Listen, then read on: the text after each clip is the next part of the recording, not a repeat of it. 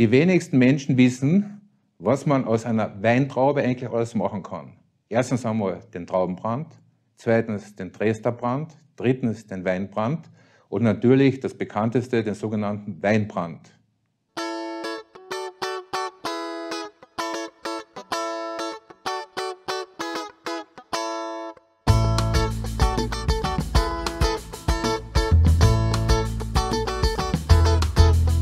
Herzlich willkommen zu einer neuen Folge von Inside World Spirit Shots. Heute dreht sich alles um die Weintraube.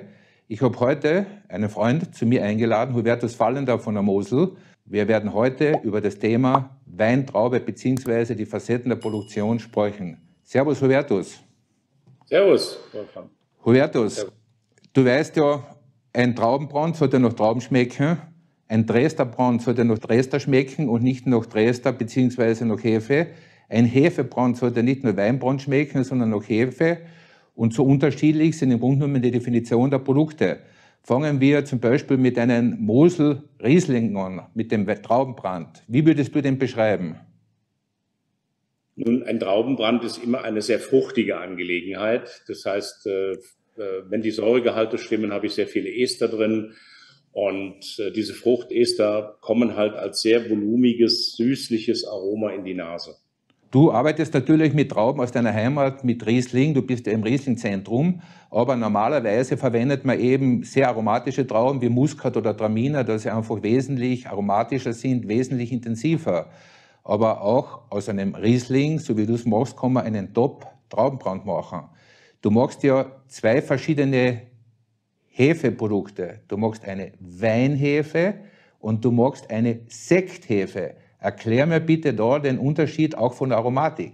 Also es ist ähm, so, eigentlich wollte ich ja Champagnerhefe machen, aber die bekommt man nicht. Und so haben wir dann Sekt genommen, der in Deutschland hergestellt worden ist für diese Sekthefe. Das ist ja immer nur das, was in der Flaschengärung dekoschiert wird.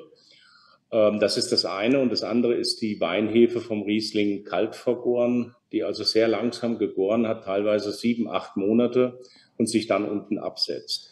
Was wir feststellen ist, ähm, die Hefe aus dem Wein ist natürlich ein Blumenstrauß voller Aromen, vorne sehr tropsig, Eisbonbon-mäßig und hinten dann sehr voluminös mit Floralaromen. Bei der Sekthefe, die ist sehr stringent in eine Richtung, etwas äh, schmaler wie der kaltvergorene, aber auch von der Aromatik her äh, sehr fruchtig. Hubertus, damit sich unsere Zuschauer darüber was vorstellen können, was ist die Sekthefe genau? Ja, bei der Sekthefe, wie schon gesagt, ist das das kleine Stück, was sich am, an der Flasche absetzt beim Dekoschieren und ähm, also beim, beim Drehen und dann wird das dekoschiert und dann fällt ja dieses kleine Stück aus der Flasche raus und das wird gesammelt man kann sich vorstellen, wie viele zigtausende Flaschen es braucht, um mal 1000 Liter Hefe zu bekommen. Und das ist schon sehr mühsam. Auf der anderen Seite, es lohnt sich. Es ist was ganz Besonderes. Ich weiß es, es ist was Besonderes, aber ein Fingerhut in einem Nähkästchen ist wahrscheinlich sicher größer als das, was du verwendest. Aber was ist jetzt für dich der Unterschied von einer Weißweinhefe zu einer Rotweinhefe? Von der Produktion weg, bitte. Also es ist so bei der Weißweinhefe, ich nehme jetzt mal äh, drei Grundsorten, Weißburgunder, Sauvignon Blanc oder Riesling. Dort haben wir eine sehr viel ähm, fruchtigere Aromatik im Destillat nachher, als wie bei einem roten. Der ist etwas dumpf, äh, dumpfer, äh, nicht so laut wie diese Weißweinhefen. Der rote kann aber, wenn er gut gemacht ist, zum Beispiel aus dem Pinot Noir, äh, einen unglaublichen Körper auch entwickeln. Und äh, von daher Persönlich ziehe ich die Weißweinhefe vor, sind aber auch einige Menschen einfach Fans von einer Rotweinhefe. Und die ätherischen Öle sind beim Weißwein wesentlich mehr wie beim Rotwein. Robertus, um auf den Dresdner zu sprechen zu kommen. Der Weißwein Dresdner wird vom Weißwein genommen, der Rotwein Dresdner von Rotwein.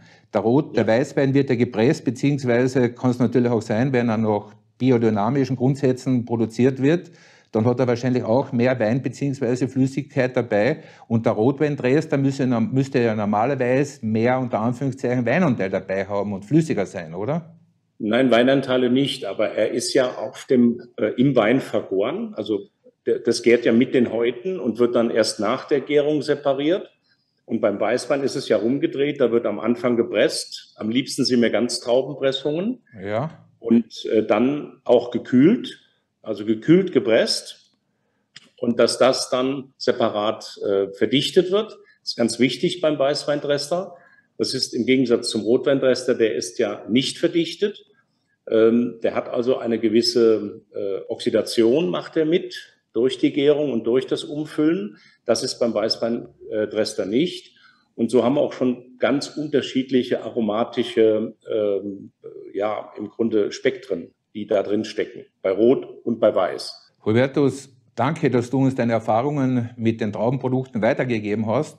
Es ist wirklich spannend zu hören, wie unterschiedlich Traubenprodukte sein können, wenn es vom Dresder bis zur Hefe geht.